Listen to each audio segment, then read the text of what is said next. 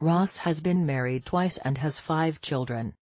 In 1965, Ross became romantically involved with Motown CEO Berry Gordy.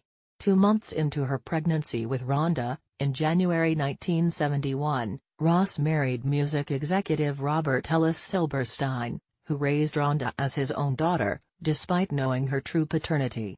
Ross told Rhonda that Gordy was her biological father when Rhonda was 13 years old. Ross and Silberstein divorced in 1977, and Ross moved to New York City in the early 1980s, after living in Los Angeles since Motown relocated to the area in the early 1970s. Ross dated Gene Simmons, bass guitarist and singer for the band Kiss, from 1980 to 1983. They began dating after Cher, who had remained friends with Simmons following their breakup suggested he ask Ross to help him choose her Christmas present. Ross ended her relationship with Simmons when he gave Ross the erroneous impression that he had resumed his relationship with Cher.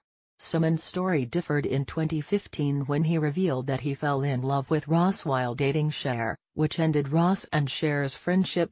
Ross met her second husband, Norwegian shipping magnate Arne Næss Jr., in 1985, and married him the following year. Ross and Næss divorced in 2000, after press reports revealed that Næss had fathered a child with another woman in Norway.